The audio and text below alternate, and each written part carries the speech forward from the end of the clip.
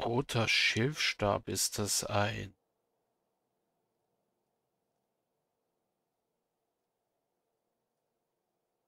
Nee, sie ist nur einfach blau hinterlegt, ist kein Artefakt. Die zwei können weg. Zepter kann weg, Zweihänder kann weg. So, die ganzen Fellrüstungen können weg. Skenroben können weg.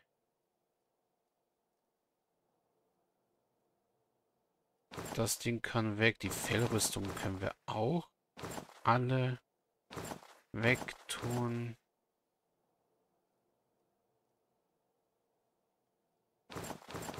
Oben behalten wir mal einen. Guten Gambason behalten wir. Den Brustharnisch behalten wir auch mal. Von den Kettenrüstungen. Die Lederrüstung. Die Gandine. Plattenpanzer. So. Hier kann der ganze normale Schmarrn weg.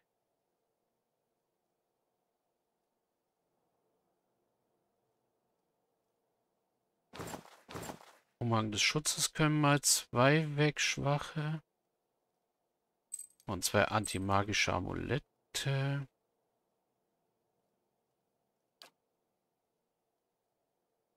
Hier möchte ich nichts weggeben. Hier können wir die Stoßzähne und Fälle wegtun.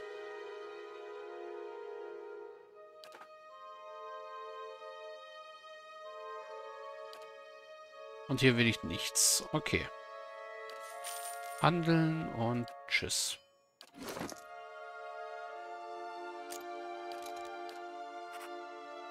Das Ding zu Sagani. Die Superballest zu Kanna, weil wir immer noch keine gescheite Flinte für ihn gekriegt haben. Also gescheite Arkebuse.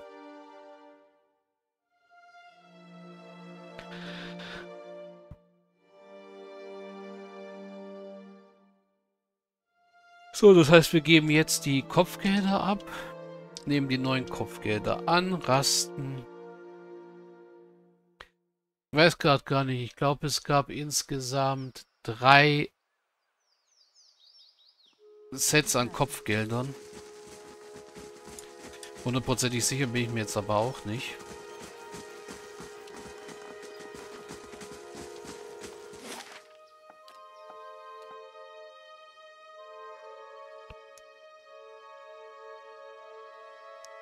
Auf jeden Fall haben wir jetzt wieder ein dickes Plus an Geld gemacht, dadurch, dass wir den ganzen Scheiß verkauft haben, den wir da so hatten.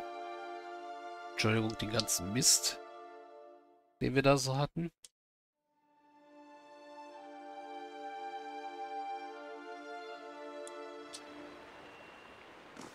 The keep's coming along nicely.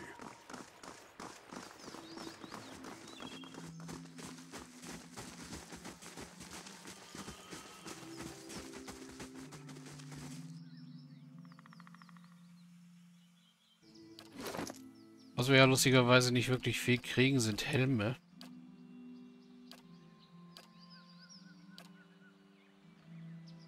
Deswegen läuft Idea immer noch ohne Helm rum.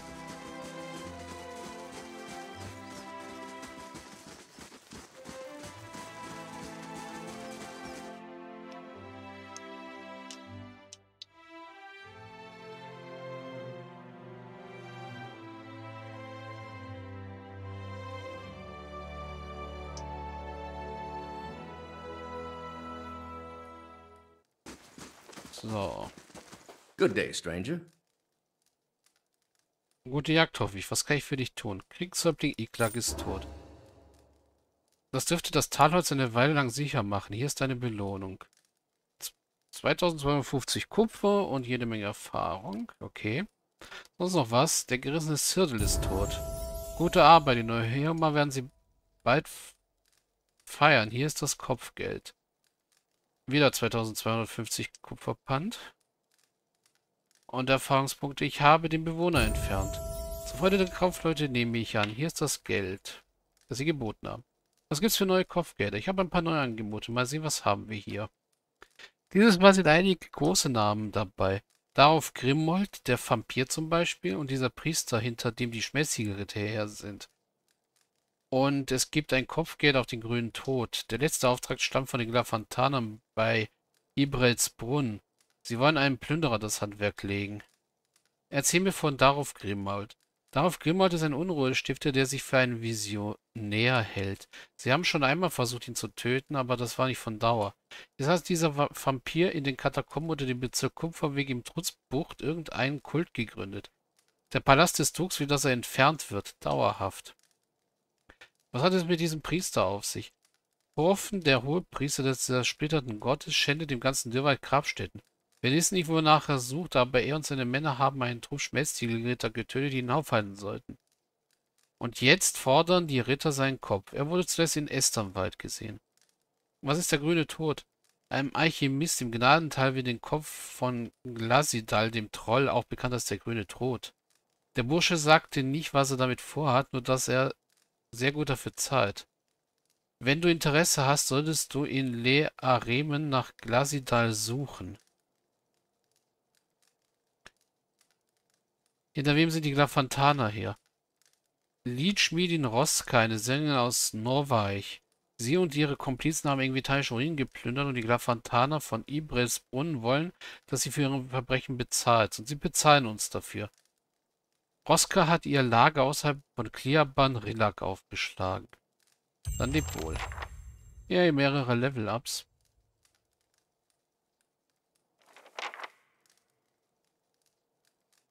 Piratenbeute hinzugefügt. Quest läuft in drei Tagen ab. Kopfgeld abgeschlossen. Steuern. Ging an Banditen verloren und so viel wurde eingetrieben. Okay. Der Bewohner abgeschlossen. Okay. Darauf Grimmauld. Neues Kopfgeld.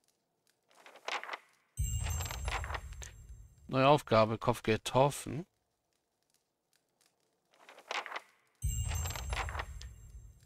Glastial. Mhm. Und Liedschmiedin Roska.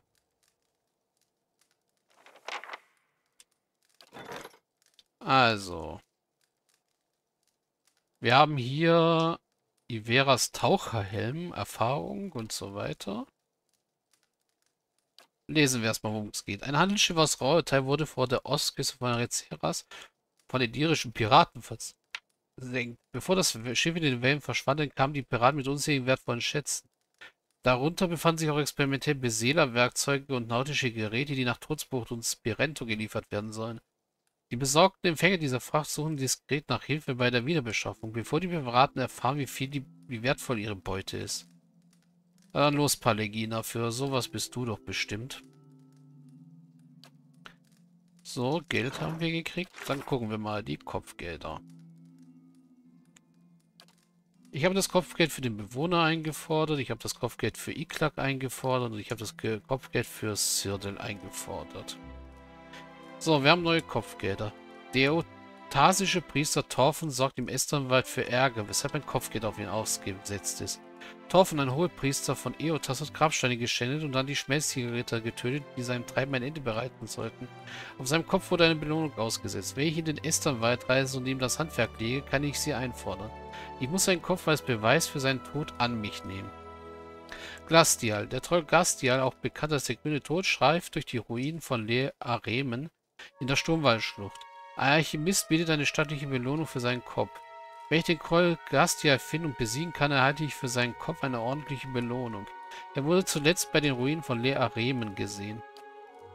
Liedschmiedin Roska, die berüchtigte Sängerin aus Norvarech, wird gesucht, weil sie irgendwelche Ruinen geplündert hat. Sie wurde zuletzt bei Kliaban Relak gesehen. Liedschmiedin Roska hat ihr Lager außerhalb von Kliaban Relak aufgeschlagen. Wenn ich dieses Kopfgeld fordern will, muss ich dorthin reisen, sie töten und ihren Kopf als Beweis ihres Todes zurückbringen. Mhm. Darauf graumelt der Vampir schaut in den Katakomben vom Kupferweg Anhänger um sich. Der Palast des Dux will, dass er entfernt wird. Darauf Grimmaut hat den Tod schon einmal überlebt und führt in den Katakomben unter dem Bezirk Kupferweg in Todsburg einen Kult an. Ich soll ihn ein zweites Mal töten und diesmal seinen Kopf als Beweis mitnehmen. Also Esternwald und Kliaban Relak, das müsste doch beides in der anderen Richtung wieder liegen. Nee, das ist Silantlis. Aber ja, der Esternwald liegt da oben. Kliaban Relak ist hier drüben. Ja, das sind ein paar Kopfgelder. Aber erstmal Level Up. Neun Punkte. Für Mechanik bräuchte ich zehn. Also, ja,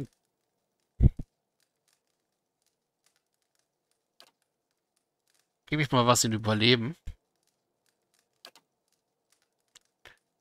Äh, unbelasteter Glaube brauche ich nicht unbedingt. Ich bin bis jetzt ziemlich gut damit klar gekommen. Seltsame Gnade. Wenn ein Paladin einen Feind erhalten verbündet in der Nähe Ausdauer. Hm? Intensive Flammen. Ja, nehmen wir das. Mehr Schaden für intensive Flammen, was ich irgendwie viel zu selten benutze. I'm here.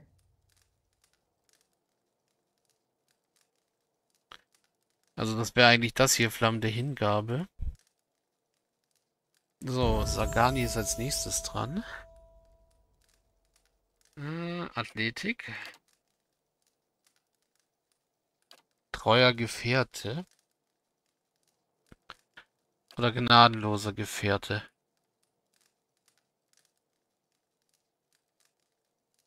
Ne, nehmen wir treuer Gefährte. Außer wir hätten offensiv oder defensiv was. Jäger der Wilden. Durchdringender Schuss.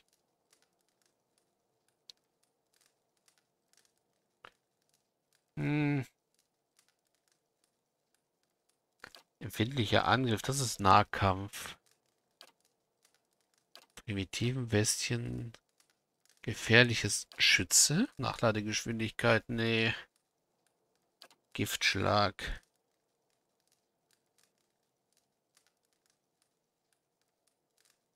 Nee, haben wir ja schon was. Wilder Angriff. Hm. Defensiv.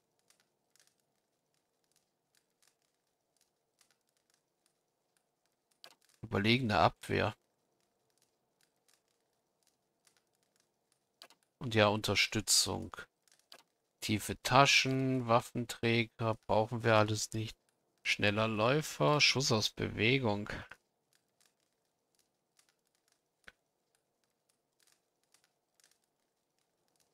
Ja, nehmen wir Schuss aus der Bewegung mal. Damit Sagani kiten kann. So, und für Kanna.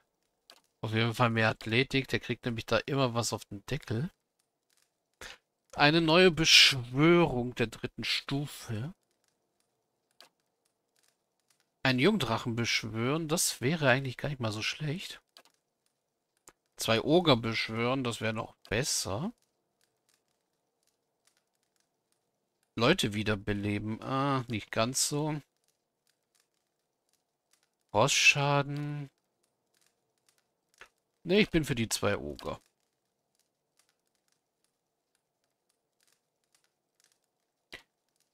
Äh, hast du schon Nachladegeschwindigkeit? Sieht danach aus. Durchdringender Schuss wäre nicht schlecht.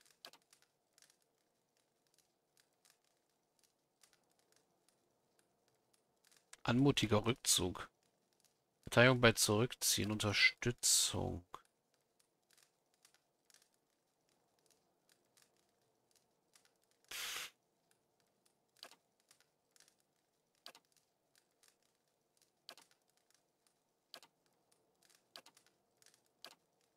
Ja, aber Lest habe ich dir schon gegeben.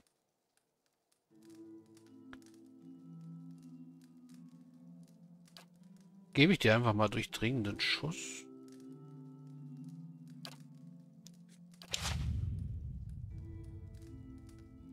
Following your lead. I'm here. Following your lead. So.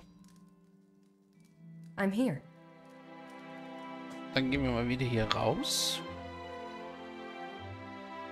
Reden als nächstes mit Dorins und dann gehen wir den Esternwald.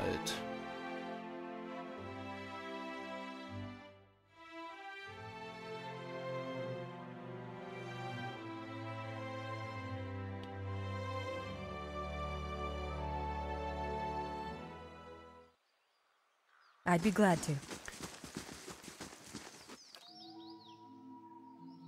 Und was musst du jetzt sagen?